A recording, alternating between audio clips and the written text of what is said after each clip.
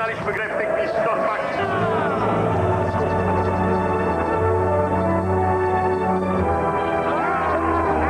Warka Jasne Pełne to piwo z ponad 500-letnią tradycją. Warka Jasne Pełne. Tak smakuje piwo.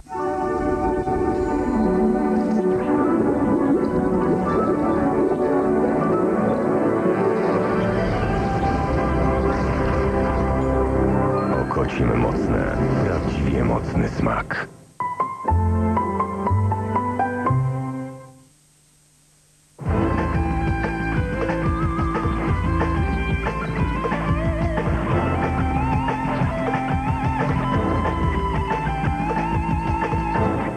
Graffiti Dorota Gawryluk, dobry wieczór Państwu. Dzisiaj moim gościem jest Pan Jerzy Nauman, adwokat. Dobry wieczór. Dobry wieczór.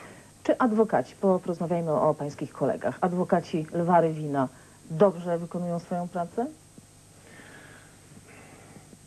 Komentowanie działań adwokackich w momencie, w którym podejmowane są określone działania procesowe, nie nadaje się w pełni do e, odpowiedzialnego komentarza, bo adwokatura to jest taktyka postępowania. I tak jak po jednym ruchu na szachownicy nie można stwierdzić, czy gra arcymistrz, czy patałach, to po kilku ruchach, czy po jednym ruchu e, adwokackim trudno wnosić, czy to jest e, działanie racjonalne, czy też mm, przypadkowe. A do czego zmierzają adwokaci Lwary Wina? Z całą pewnością do obrony interesów swojego klienta. W jaki sposób to będą realizowali, zobaczymy. A po co w takim razie żądają wykluczenia y, Pana Ziobry z komisji y, śledczej?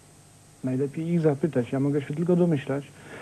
E, Pan poseł Ziobro, e, występując publicznie, dał dowód e, niewątpliwego zaangażowania emocjonalnego w sprawę. Nie on jeden zresztą, spośród członków komisji. Chyba wszyscy są zaangażowani, y, emocjonalnie zaangażowani, bo to jest sprawa polityczna. Chodzi o polityków, politycy są w to zamieszani. To bardzo źle, jeśli sędzia staje się uczestnikiem poprzez swoje emocje.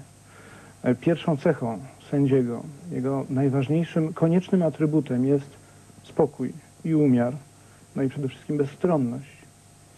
Jeżeli tego zabraknie, to mm, proces sądzenia jest zniweczony, a w każdym razie bardzo zagrożony. Ale czy człon- członkowie komisji mają prawo y, oceniania prokuratury, działań prokuratury? Ja nie znajduję takich podstaw. No przecież po to zostali powołani, żeby kontrolować organy państwowe też. Nie. O tym, do czego zostali powołani, decyduje uchwała Sejmu, która tę komisję powołała. Jedyny łącznik pomiędzy działaniami prokuratury a komisji śledczej jest taki, że ta komisja nazywa się komisją śledczą, a prokuratura prowadzi śledztwo. Prokuratura prowadzi śledztwo e, w sprawie e, ujawnionej przez e, Adama Michnika na łamach Gazety Wyborczej. Natomiast komisja śledcza jest powołana nie do nadzoru czy badania postępowań prokuratury, tylko do zbadania tej sprawy we własnym zakresie, korzystając co najwyżej z materiałów zgromadzonych przez prokuraturę bądź jakiekolwiek inne organy e, państwowe, które mają obowiązek służyć jej materiałami lub e, dokumentami. No ale jeżeli członkowie komisji e, są przekonani o tym, że to, co dostają od prokuratury, nie pomaga im w sposób wystarczający w dochodzeniu do tej prawdy, to co, nie mają prawa o tym mówić publicznie? Mają prawo w takim e, oczywiście zakresie, żeby nie zmarnować e, prac komisji i nie, zagrozi, nie zagrozić sensowi jej powołania. To w takim zakresie na pewno mają prawo, aczkolwiek ten komentarz powinien gdzieś się niewątpliwie zatrzymać. Jeżeli e, prace komisji śledczej i wypowiedzi jej członków mają się ograniczać do krytyki lub pochwał działań prokuratury, to rzecz polega na kompletnym nieporozumieniu i niezrozumieniu, jak się wydaje, ustawy o komisji śledczej, która określa obowiązki tej komisji i poszczególnych jej e, członków. A gdyby był pan adwokatem Lwa Rywina, czy byłby pan zadowolony z pracy prokuratury? Gdybym był adwokatem e, pana Rymina, to przede wszystkim znałbym śledztwo. E, Nie jestem nim i śledztwa nie znam w innej relacji jak tylko prasowa, a ta relacja jest oczywiście bardzo wycinkowa. E, Zna pan również śledztwo z relacji prokuratorów, czyli prokuratura Kapusty na przykład. Byłbym zadowolony, myślę, że od wczoraj byłbym zadowolony niewątpliwie.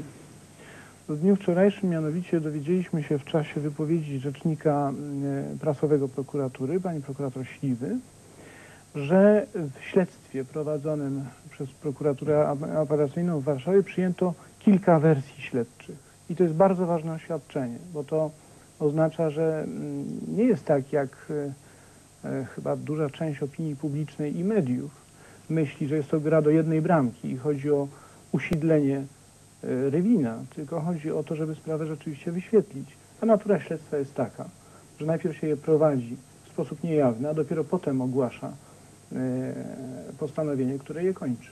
A dlaczego prokuratura nie przeszukała domu Lwa Rywina? To zupełnie, to zupełnie naturalne, jak mi się wydaje. To jest naturalne, w tym przypadku naturalne, czy w ogóle naturalne? Bo jeżeli chodzi o inne Nie, śledztwa, naturalne to nie było ten, naturalne. naturalne skąd ten zarzut się bierze. A, mhm. On się bierze z niezrozumienia techniki prowadzenia śledztwa. W każdym razie normalnego śledztwa, a nie śledztwa wypaczonego. Otóż nie jest tak, że najpierw zakłada się jakąś e, rzecz z góry, a następnie szuka dowodów dla udowodnienia tego założenia. Tylko najpierw zbiera się pewne poszlaki. Jeżeli one są, to przeprowadza się dowody, bądź ich się poszukuje, na przykład w drodze przeszukania, a jeżeli takich poszlak wystarczających nie ma, to się szanuje dobra e, obywatelskie i nie ingeruje w nie tam, gdzie nie ma takich A poszlak. taką poszlaką nie jest, y, nie jest to, co opublikowała Gazeta Wyborcza i wypowiedzi Lwa Rywina, wymienienie konkretnych osób zamieszanych, jego zdaniem, Lwa Rywina zdaniem, w aferę? To nie jest poszlaka? Proszę Pani, y, mnie się wydaje, że ja wiem, jak niebezpiecznie jest uciekać dziennikarzowi y, z pytania. E, Po to, żeby się wypowiadać y, racjonalnie, potrzebna jest konieczna wiedza. Ja tej wiedzy po prostu nie posiadam. Ja nie wiem, e, w jakim stadium zaawansowania i jakie wersje śledcze realizuje prokuratura. A czy to jest normalne, że prokuratura zakłada, że nie ma czego szukać w domu Lwa Rywina na przykład? Nie, ja myślę, że prokuratura tego nie założyła. Ja raczej się domyślam, że do e, chwili obecnej nie zdobyła tego rodzaju przesłanek, żeby dostatecznie uzasadnić naruszenie praw, e, w tym przypadku obywatelskich, naruszenie prywatności Lwa Rywina, żeby tam szukać. Jest jeszcze Jeszcze inna odpowiedź. To, to ten artykuł w Gazecie Wyborczej to nie był wystarczający powód, żeby to, to zrobić? jest jeszcze inna wypowiedź, jest jeszcze inna możliwość. Prokuratura może dysponować dowodami, którymi się jeszcze nie chwali, które powodują, że przeszukania i ewentualne rzeczy, które mogą być bądź mogły być w domu Warywina, nie są w stanie wnieść więcej niż to, co już A ustalono. skąd prokuratura może wiedzieć, co jest w domu Lwa Rywina? Prokuratura skoro nie może wiedzieć, tego domu? co już ustaliła. I widocznie te ustalenia nie powodowały konieczności y, zarządzenia przeszukania w domu y, pana Rywina. Czyli Pana zdaniem prokuratura nie popełniła tutaj błędu i e, posłowie mm, opozycji z Komisji Śledczej przesadzają, jeżeli e, zarzucają błędy e, prokuraturze, tak? Ja myślę mm, inaczej, że jest za wcześnie, żeby ocenić, czy prokuratura popełniła błąd, czy nie, bo się na tym etapie śledztwa, o którym jeszcze tak niewiele wiemy, nie wolno wypowiadać w sposób przesądzający. Dzisiaj do grona krytyków e, prokuratury dołączył Adam Michnik. Powiedział, że jest źle traktowany przez prokuraturę. Śledztwo trwa za długo, dawno już powinno się skończyć. Wolno mu taką opinię posiadać. A czy śledztwo Pana zdaniem trwa za długo? Myślę, że nie, dlatego że ta sprawa mm, jedno już dowiodła, że to nie jest przypadek psychiatryczny, tak jak to na wstępie zostało określone.